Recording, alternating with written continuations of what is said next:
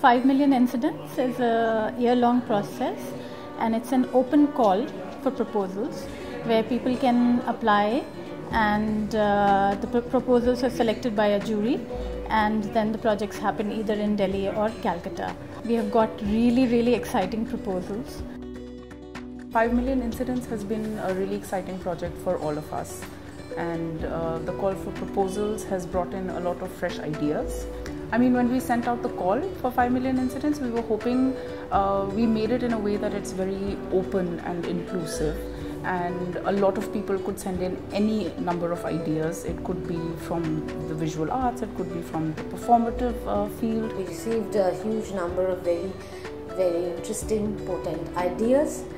Um, now that the selection is done, we would now sort of uh, figure out or work out a process as to which projects are being executed where.